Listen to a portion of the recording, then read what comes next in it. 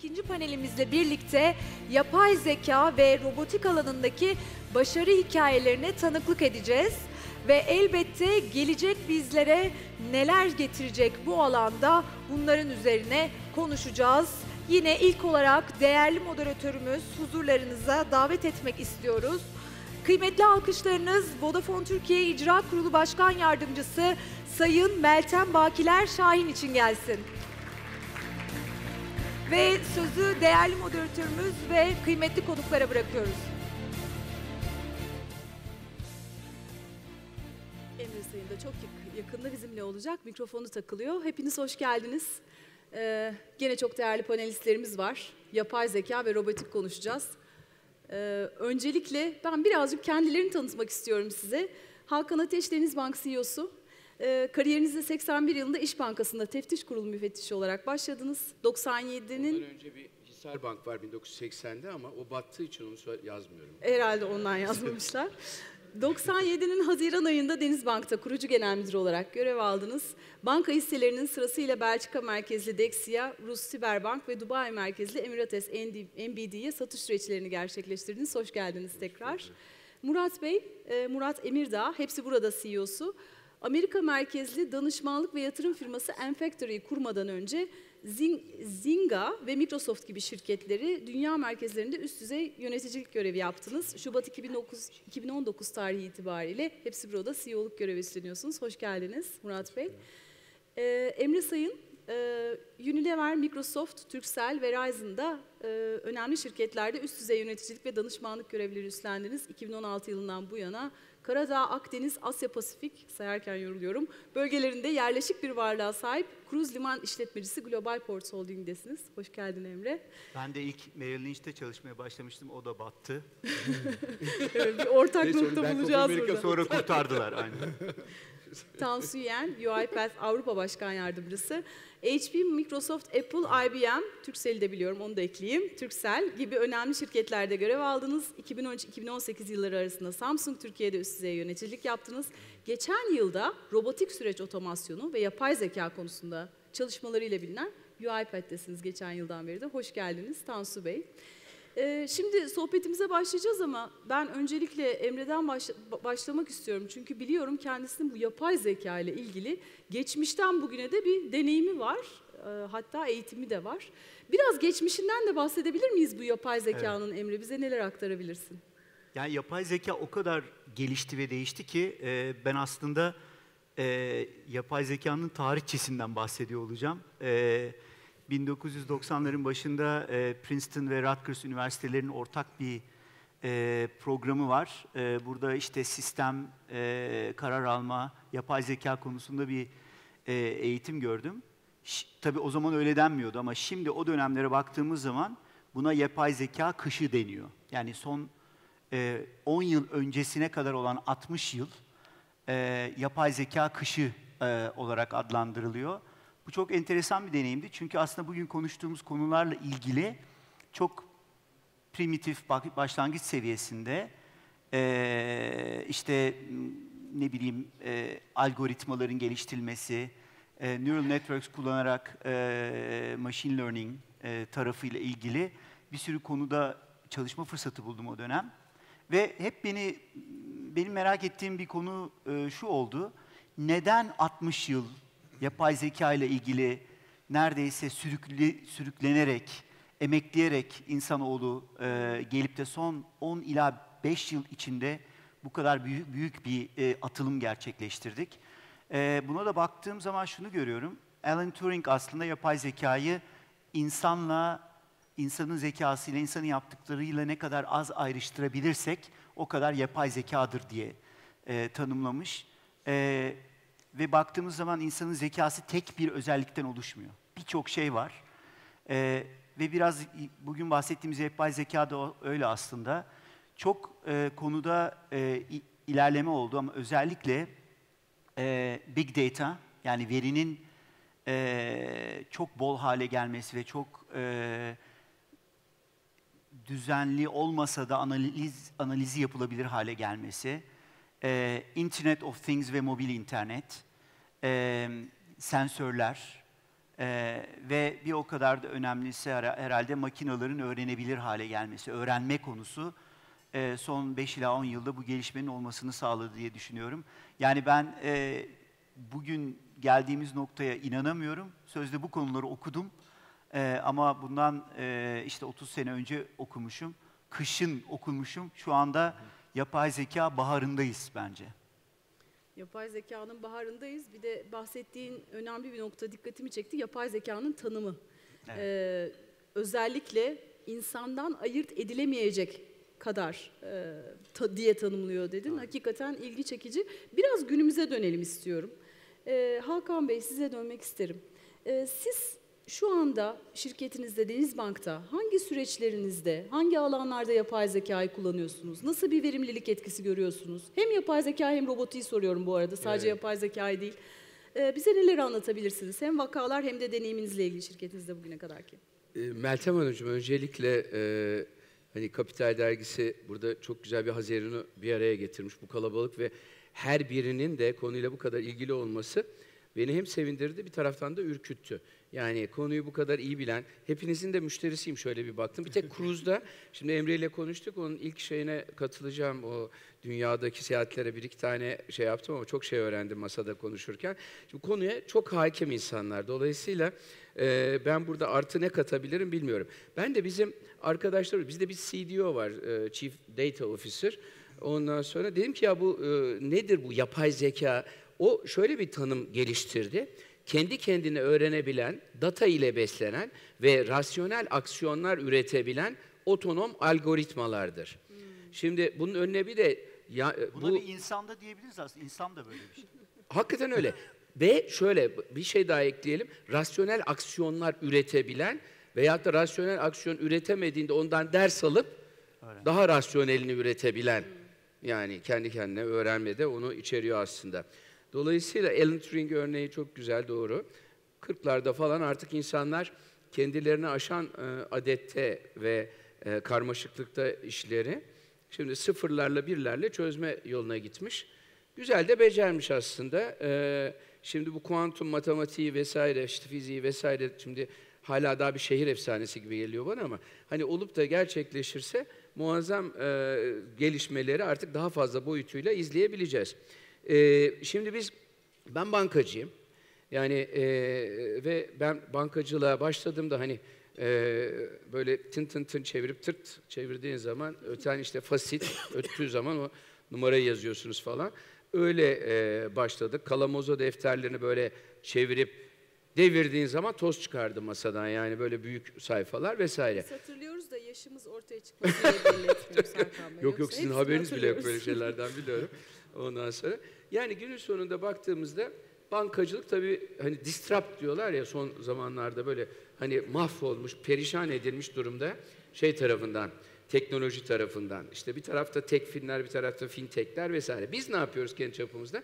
Tabii finans regüle edilmiş bir e, alan ve orada da mümkün olduğu kadar e, bu regülasyonlar içinde yapabileceğimin en iyisini yapmaya çalışıyoruz. Birçok alanda şey var. Hemen yanımda şimdi Murat, sevgili Murat oturuyor. Ee, biz e, hepsi burada işte bölgenin en büyük e, şeyi olarak bu e, internet ve iletişim ağı olarak biz çok enteresan bir deneyim. O daha teknik şeylerini verecektir. Uçtan uca yani girdiği anda adam bütün verisiyle bütün KVKK'ya uygun bir şekilde o anda ilgilendiği malı ve benzerlerini nasıl e, kredili, taksitli, şöyle veya böyle alternatifleriyle nasıl sunabiliriz'i neredeyse real time online önüne çıkarıyoruz. Ve hiçbir yere uğramadan ne bankaya, zaten internet sitesi veya mağazaya şuna buna o mala sahip çıkabiliyor, ola- e, alabiliyor. Şimdilik bir ıslak imza derdimiz var, onu da çözeceğiz inşallah ama onun için de kurye gider, gidince imzasını alıyor. Evet. Şimdi masada bana çok enteresan bir şey gösterdi. Cep telefonuyla çay bardağını çekti. Sonra e, girdi hemen bir şeye kendi sitesinde. O çay bardağının alternatifleri, fiyatları falan geldi. Sonra çay kaşığını çekti. Allah'tan beni çekmedi yani. Ben e, gerçi benim de neredeyse 40. senem bu e, hani 23 senedir de Denizbank'ın başındayım. Artık e, herhalde benim hani tü- türü türü tükenmiş olan bir adamım için bilmiyorum benzerleri vardır herhalde. Murat Bey sizden dinleyelim e-ticareti sonra Tansu Bey'e dönelim. Çünkü biz de müşterisiyiz. Çok teşekkürler. Ben önce şöyle planladım aslında. Ee, sizin başlattığınız yerden döndürüp e-ticarete bağlayıp günlük hayatımızdaki AI kullanımlarına herhalde e, geçersem pası size güzel atmış olurum diye düşünüyorum. Şimdi AI e, aslında yapay zeka şöyle e, yıllar evvel bunun çok fa- farkında olup günümüzde hızlanmasının bence nedenlerinden bir tanesi konnektivite. Önce işte big data var, arkasından işte makine öğrenmesi, sonra derin e, öğrenme algoritmaları ve sonra yapay zeka çıkıyor. Bunların hepsi çıktıktan sonra aslında yapay zeka bir tane sos. Bu sosu bir yere yemeklere koymanız lazım ki bir e, faydasını görün. O andan itibaren de aslında AI'ın başka şeyin içine gömüldüğünü görmeye başlıyoruz. Bu robot olabilir, e, üç, e, üç boyutlu yazılım olabilir, dronlar olabilir, başka günlük problemler olabilir. Bu aşama böyle e, kaydedildi ve artık dünya daha da connected bir hale geldi. Bütün bu artık bilgi akışı ve yapay zekanın mucizesi hayatımızın her yerine ulaşılabilir hale geldi. Çok kısa her yerde söylediğim bir şeyi burada hatırlatmak istiyorum. Dünya nüfusunun yaklaşık yarısı 30 yaşın altında. İnternet çıkalı yaklaşık 30 yıl oldu. Yani dünya nüfusunun yarısı internetsiz bir dünyayı bilmiyor. AI de şimdi öyle olacak. Yani artık bizim de yeni jenerasyonlar, artık Gen Z, Gen Y ve sonrası internetsiz zaten konnektivitesiz bir şey bilmiyordu. Bir de üstüne AI'siz bir şey bilmeyecek. Çünkü artık birçok şeyin AI tarafından yapıldığı bir dünyada ve bunu artık hazır kabul ederek başlayacağız oyununa. Ve şimdi 5G'den sonra bir yeni hızlanma artık AI'nin daha da anlık her yerde, hayatımızın her parçasında olacağını göreceğiz. Şimdi bu büyük picture'dan, büyük resimden buraya geldik. Günlük hayatımızda biz bunları e-ticarette nasıl yapıyoruz, nasıl uyguluyoruz diye baktığınızda e-ticaret e, aslında yani hep alma satma bir ticaret üzerine düşünüyoruz ama aslında ondan çok daha fazlası bir ekosistem. E-ticarette tabii ki milyonlarca ürün bir yerden bir yere gidiyor, servisler satılıyor ama işin aslında özünde bir operasyon var. Bir operasyon e, yete- yeteneği lazım. Üstüne bir lojistik son e, kapıyı çalıp teslimat lazım. Bunların ötesinde ödeme çözümleri, bir finansman çözümleri bunların hepsi uçtan uca çok e, zengin bir e, yelpaze. Hepsi lazım. Bunun arkasından insanların ihtiyaçları sürekli değişiyor. Bugün başka bir ihtiyacınızı da artık e-ticarette karşılamak istiyorsunuz. İşte mesela e, bahsettiğimiz, size biraz bahsetmiştim. Artık süpermarket alışverişinizde eti, sütü, balığı, yumurtayı e, taze ve hemen bozulabilecek şeyleri soğuk tedarikle kapınıza 1-2 saatte getirmemiz gerekiyor. İhtiyaçlar büyüdükçe bunlar ve sistem değişiyor. Şey özeline gidersek mesela finansman çözümleri ve e, bizim dünyamızdaki en öncelikli AI kullandığımız, yapay zeka kullandığımız çözümler genelde şöyle oluyor. Bir kişiye özel bir deneyim sunabilmek, onun gerçekten ihtiyaçlarını anlayıp ona özel anında ve doğru çözümleri daha öngörerek önüne getirmek. Burada mesela bizim e, Denizbank'ta yaptığımız bu e, online e, anında tüketici kredisi aslında çok e, benzeri olmayan bir çalışma. Amacımız bir insan bir alışveriş yaparken ya işte Murat televizyon alacaksın 3000 TL, 2000 TL kredi alabileceksin farkında mısın diye bunu hatırlatıp insanların böyle bir imkan olduğunu önüne koyup sonra kendi ihtiyaçlarına göre, ödeme koşullarına göre seçip kişiselleştirdiği bir çözümü tercih edip sonra bunu hiç bankaya oraya buraya gitmeden evinin koltuğunda karar verip işleme koyması. Bu çok böyle hani bütün yapay zeka deyince genel böyle çok e, fütüristik şeyler düşünüyoruz ama aslında bu günlük hayatımızda çok kullanabileceğimiz, gördüğümüz çok böyle somut ve e, hayata değer katan bir çözüm. Bunun gibi birçok çözüm zaten e, başka şekillerde de üretmeye çalışıyoruz. Çünkü aslında şunu biliyoruz. Eğer biz yapay zekayı doğru kullanırsak aslında 1 artı 1'i 10 yapacak birçok potansiyele sahibiz. Sevgili Tansu, daha önceki değerlendirmelerinde yapay zekanın bir seferberlik gerektirdiğini söylemiştin. Ee, sence iş dünyası olarak yapay zekadan ne bekleyebiliriz? 30 yıla, önümüzdeki 30 yıla nasıl hazırlanabiliriz? Bir de iş dünyasının değerli temsilcileri burada. Biraz da tavsiye alalım. Ee, Tabii neler tavsiye edersin bize? Ben biraz e, önce öncelikle Sedef ve Talat'a yılın son etkinliğini böyle bir konuya ayırdıkları için tam star oldu. Ee, çok teşekkür ederim. Ee, Hakan Bey'le de tekrar aynı panelde yer almak büyük bir keyif. Ee, şimdi ben biraz geriye gideceğim derken milattan önce 8000 yılına gideceğim. Ee, o taş devrine ilk taşı yontmaya başladığımız anda, yontmayı başardığımız anda kim yaptıysa Onu aslında bulup pek alnından öpmeyelim ona bir ceza verelim. Biz o günden itibaren insanlar olarak bir şeyler üretmeye başladık ve hep bir şeyleri başarmaya, bir şeyleri yaptım de, demeye başladık. Hatta Ay'a çıkmamızda hep yaptım demekti. Ama biz her zaman bir şeyleri yaparken başkalarının hep işler çıkardık. Başkaları bizim adımıza çalışmaya başladı. Bakın 1960'lara geldiğimizde ilk büyük sunucuyla, bilgisayarla tanıştık. Daha sonra yeni birçok teknoloji gelmeye başladı. Ve biz çalışanlar, şirketler bu teknolojilere adapte olmaya başladık. Şirketler yaklaşık devamlı teknolojiye yatırım yaptı. Bugün de hala teknolojiye yatırım yapıyorlar. Bütün dünyadaki CEO'lara sorduğunuzda niye teknolojiye yatırım yapıyorsun? Tek bir cevap var. Rekabetin önünde olabilmek, hız kazanmak, hatta rekabetimi yıkmak için yapıyorum diyor. Şimdi e, bir yandan bu teknoloji yatırımları yapılıyor ama şöyle bir sıkıntı var. Devamlı verimlilik düşüyor tüm dünyada. 2000'li yıllara kadar verimlilik artarken 2000'li yıllardan sonra verimlilik düşmeye başlıyor. E bu kadar yapay zeka çıkmış, işte bir büyük veriden konuşuyoruz. Niye düşüyor? Bu sorunun cevabı açıkçası son böyle 5-6 yıldır bulunmaya başlandı. Öncelikle bir şey söylemek istiyorum e, değerli yöneticilere. Work-life balance dediğimiz iş yaşam dengesi konusu böyle 2000'li yılların başında konuşulmaya başlandı. Son bilmiyorum 4-5 yıldır ben bu lafı hiç duymuyorum. Çünkü artık genelde CEO'lar bizler de diyoruz ki eğer işinizi çok seviyorsanız zaten çok çalışırsınız. Çünkü çalışanlarımıza o şey sağlayamıyoruz, bütün rahatlığı sağlayamıyoruz. Ne yaptık biliyor musunuz? Çalışanlarımızın yüzde ellisi robot halde çalışmaya başladı. O biraz önce Burak söyledi ya içindeki robotu çıkartalım diye. Biz sahiden şirket olarak bunu yapıyoruz. Sadece bunu yapmıyoruz. Aynı zamanda şirketleri bugüne kadar işte biraz önce Hakan Bey'in bahsettiği gibi ki konuşmanın ilerleyen aşamalarında örnekler vereceğim. Şirketleri hızlandırıyoruz.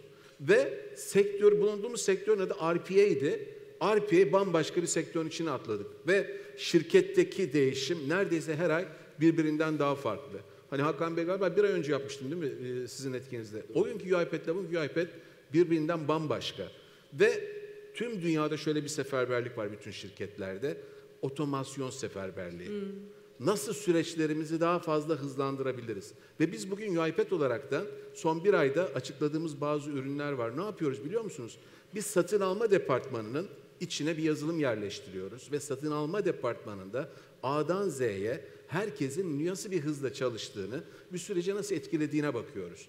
Ve ardından diyoruz ki burayı yapay zeka ve bizim robotik süreç otomasyonu yazılımlarımızla şimdi hızlandıralım. Devamlı çalışmaya başlıyoruz ama atıyorum benim tarafım hızlandığı zaman belki Emre bir sonraki kişi ise bu sefer Emre boğuluyor. Çünkü eskiden ben ona yavaş aktarırken Emre'ye bir anda çok yoğun iş gelmeye başlıyor. Bu sefer Emre'nin tarafına geliyoruz, Emre'yi düzenliyoruz. Meltem sonra gelecek olursam yapay zeka en yıkıcı teknoloji.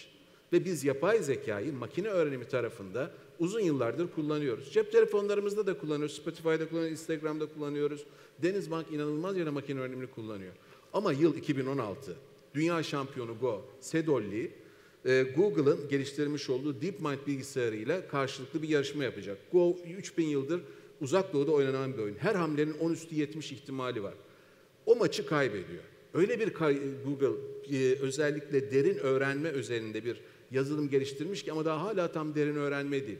Ve ardından bir yıl sonra AlphaGo Zero çıkıyor ve AlphaGo Zero AlphaGo oyununu tam 100 kez arka arkaya yeniyor. Ve 26 Kasım'da dünya şampiyonu olan Sedolli manşetlerde şu açıklamayı yaptı. Türkiye gazetelerinden birkaç tanesini de 27 Kasım'da gördüm. Ben Go oyununu bırakıyorum. Yani şunu söylemek istiyorum.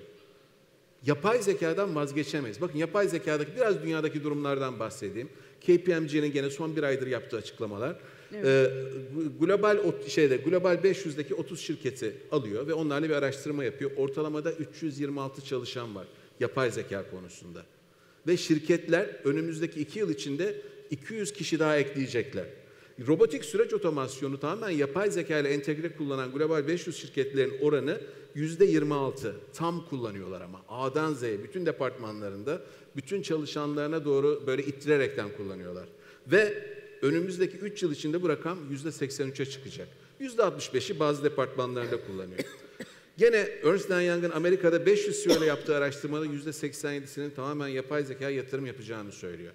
Yani e, bence mesela Denizbank Hakan Bey'e sahip olduğu için çok şanslı. Çünkü gene e, Deloitte'in bir araştırması var. Sadece global CEO'ların yüzde 17'si yapay zeka nedir, Çok robotik süreç otomasyon nedir biliyor. gerisi bilmiyor. O yüzden şirketlerin de yön veremiyorlar.